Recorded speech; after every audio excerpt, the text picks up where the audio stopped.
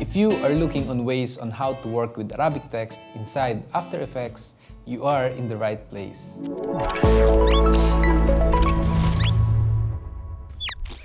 Hey, what's up guys? It's Louie once again and we're back at Totoy's TV. Another video editing techniques I'm going to show you for video editors and animators like me who are working in Arab countries. Even though I can speak and read Arabic, I can understand shway shway, mafi, mushkila, and alhamdulillah.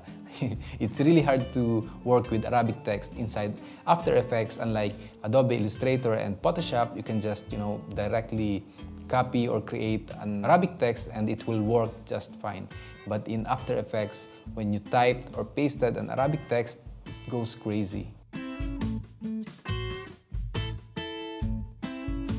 Most of my edited works and animations were in bilingual. I'm pretty sure you've seen this somewhere here in Sharjah, UAE. If you know the flying saucer Sharjah, you've probably seen this. It's posted in big LCD outside the building of the flying saucer.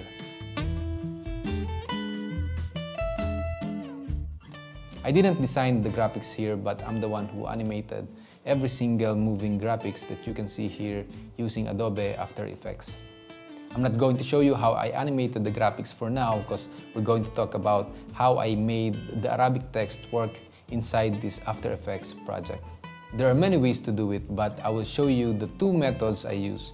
So for the first quick test, we are going to use this English text right here translated in Google because it has multiple lines and special characters. I will show you why I prefer the second method and not this first one but you can still use it as an alternative way. The first method is to use the arabickeyboard.org. You can type or paste an Arabic text right here, then click copy, then convert, and paste it in the text layer in After Effects. As you can see, I'm facing so many problems using this because if you have a text in multiple lines, the first line goes to the bottom when you paste it directly in After Effects. And some special characters doesn't work properly. To fix this issue, I use Adobe Illustrator in between the process of copying and pasting. So first, copy the Arabic text from your notepad or text editor, then paste it in arabickeyboard.org.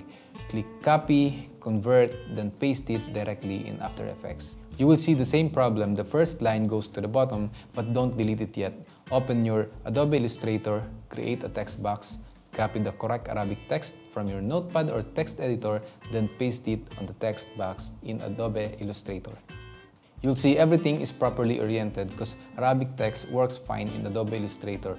Now, copy the text from Illustrator, then paste it on the same text layer in After Effects.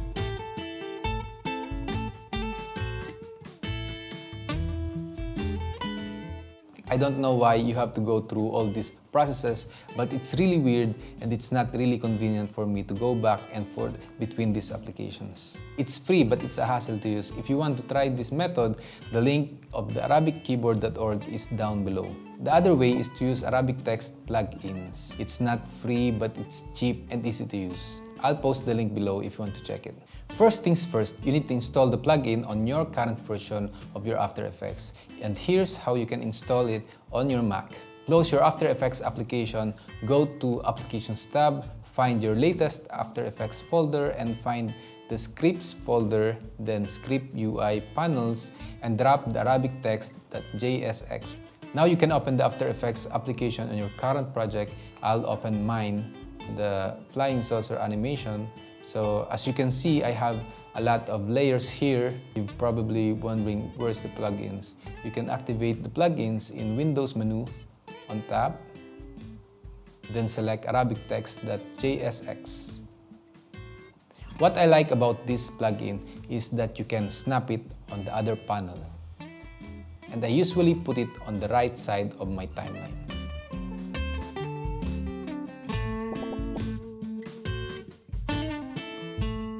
Here's how it works. There are three ways to use this. You can create new text, you can update a text, and you can convert a text. I'll explain the differences of the three. So when you use the create text, you can just type or paste an Arabic text on the white area and hit the apply button. it will automatically create a new text layer on your timeline and it will show on your compositions panel. Note, if you can see the text on your composition, you better check the font style. Some English font can display Arabic text. I usually use Al Bayan or, or other Arabic font in characters uh, panel. So every time you click the apply button with new text selected, it will create new text layer on your timeline, even if it's empty.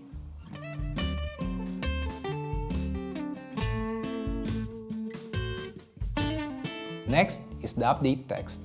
When you use this option, you have to select the text layer you want to update before you hit the apply button. You can type or paste an Arabic text in the white area. Click apply to update the text. This is the method I usually use. Every time I create a project, I do it in English version first, then I duplicate the layer and update it with Arabic text given by our translator. It's really easy and convenient to use. Last but not least, the convert text. When you select this option, you won't be able to use the white area to type or paste an Arabic text. This works on a text layer that has already an Arabic text with wrong orientation. So if you directly pasted an Arabic text inside After Effects and you notice that it's not on their correct orientation, select the text layer, then choose Convert Text and hit the Apply button. It will update to their correct orientation. Okay, thanks for watching the whole tutorials guys. I hope I contributed or helped you in any ways. Sa mga kabayan, please subscribe to our channel and connect with us at totoystv at gmail.com. Hit thumbs up if you like this video and if you don't, click dislike. But be sure to activate the notification bell for you to be notified whenever we upload videos in this channel. Be creative all day, all night. See ya!